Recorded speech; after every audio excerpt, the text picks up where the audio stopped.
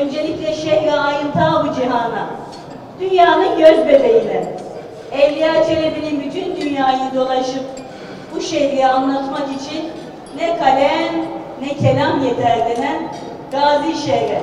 Hoş geldiniz, şerefler verdiniz. Bu sofrada bütün sorunlar çözülür. Bu sofrada büyük bir zenginlik var. İpek yolundaki Mezopotamya, şu üstünde gördüğünüz bütün ürünler bu toprakta var. O yüzden biz topraktan, güneşten, tarihten gelen lezzettir ve toprağa dönür.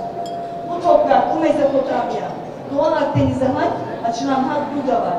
Gaziantep Kültür Yolu Gaziantep bu proje kapsamında değildi. Geçtiğimiz sene konuştuk ve o zamandan beri talimatları verdik. Bugün bu Gaziantep Kültür Yolu Sayın Bakanımızın talimatlarıyla, özel gayretleriyle oldu.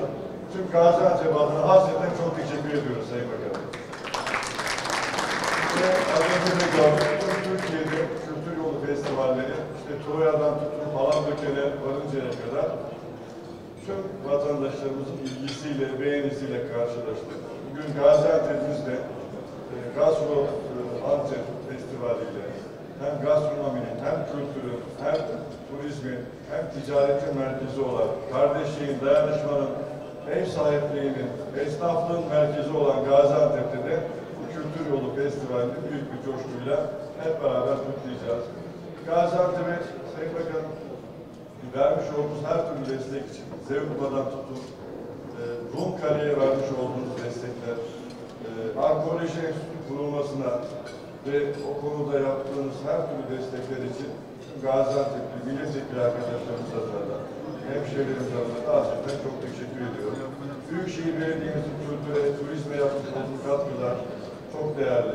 Ben tüm Gaziantep adına sizlere emeği geçen tüm ekibimize teşekkür ediyorum. Gaziantep'imize hoş geldiniz. Festivalimiz hayırlı olsun. Hepinize saygılar.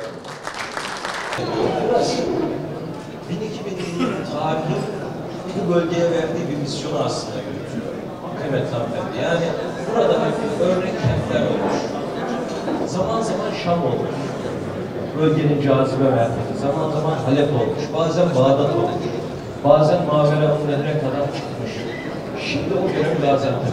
Yani sadece bizim doğu ve güneydoğumuzu değil, o bölgenin tamamını da e, bereketli hilal denen o üçgeni de kapsıyor. Dolayısıyla burada yapılacak her faaliyet aslında adı bugün Gastroantep, Gaziantep kültür yolu olsa da bu bölgenin tamamının kültür yolu diye bile değerlendirilebilir kanaatindeyim. Bu anlamda buraya çok özel ilgi gösterdiğinizi ve e, her bir adımı tek tek takip ettiğimizi teyiden bir kez daha herkese hatırlatmak ve bu anlamda hem Bakan Başkan hem de Ön Bakanımın bahsettiği gibi ben de şahsım ve şehrim adına sizlere sonsuz teşekkürler etmeyi bir borç biliyorum. Çok keyifli günler geçireceğimizden hiç şüphem yok. Bu 10 gün çok dolu dolu geçecek. Gaziantep Kültür Festivalimizin basın lansmanına hepiniz hoş geldiniz. Böyle güzel bir vesileyle sizlerle bir araya gelmiş olmaktan çok büyük bir mutluluk duyuyorum. Gösterdiğiniz ilgi dolayısıyla yapmış olduğunuz konuşmalardan dolayı hepinize ayrı ayrı teşekkür ediyorum.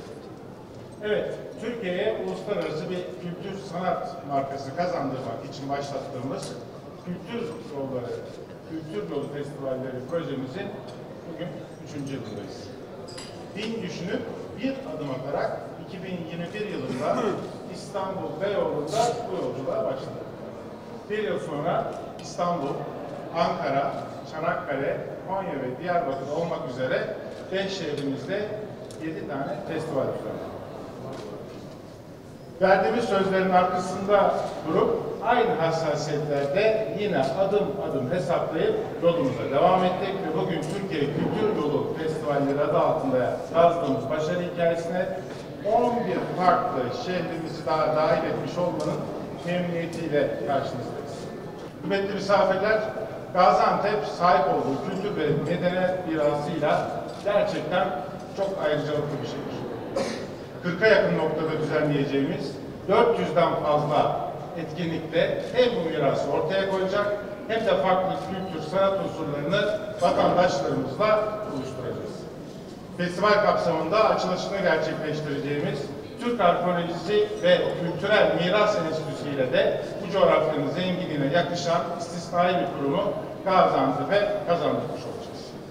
Ancak bütün bunların yanında Gaziantep'in bizim için çok özel bir farkı daha var. Şehrimiz Hatay ve Afyonkarahisar ile birlikte UNESCO Yaratıcı Şehirler Ağı'na gastronomi alanında dahil olma ayrıcalığını taşıyor. Biz bu ayrıcalığın bilinciyle Gaziantep'i festival şehirlerimiz arasına eklerken Büyükşehir Belediye'mizin düzenlediği gastronomi festivalini merkeze aldık ve Kültür Yolu Festivali konseptine uygun şekilde kapsamını genişlettik. Sayın Büyükşehir Belediye Başkanımız Fatma Şahin'in şahsında bu alanda emeği geçen herkese ayrı ayrı teşekkür ediyorum. Gaziantep Kültür Yolu Festivali'ne gelen herkesi bu gözle festivali yaşamaya, bu ayrıntılara dikkat etmeye ve elbette diğer kültür sanat etkinlikleriyle birlikte Gaziantep'in eşsiz mutfağını deneyimlemeye davet ediyorum. Gaziantep ve Başkent Kültür Festivallerimizin açılışının hayırlı olmasını, vatandaşlarımızın kültür ve sanatta dolu anlar yaşamalarını diliyor. Hepinizi saygıyla selamlıyorum.